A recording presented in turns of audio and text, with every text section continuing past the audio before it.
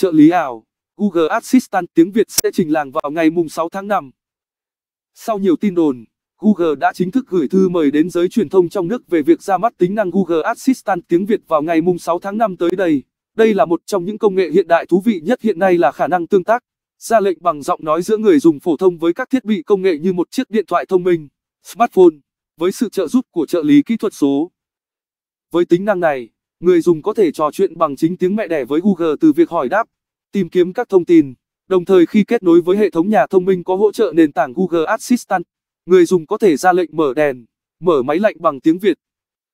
Được biết, Google Assistant là trợ lý kỹ thuật số thừa hưởng trí thông minh nhân tạo, AI, máy học, machine learning, và khả năng xử lý ngôn ngữ tự nhiên nên hiểu được các câu lệnh, câu hỏi từ người dùng. Gia Hưng